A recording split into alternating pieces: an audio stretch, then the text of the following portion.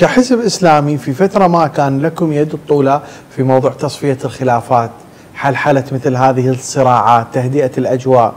وما, وما زلنا نسعى في هذا الأمر ونحن نعمل على توافق بين الأطراف وتهدئة الأوضاع بين الأطراف وهذا حقيقة نهج نبقى به. يعني ليس معنى أنه أنا أذهب بمشروع وطني أنه أنسلخ عن المكون مالي. مستحيل. تبقى المصلحة العامة لما يتعلق فيما يتعلق بالمكون نحن شركاء أيضا مع أخواننا فيه. وكذلك على المستوى الوطني إحنا شركاء مع الآخرين.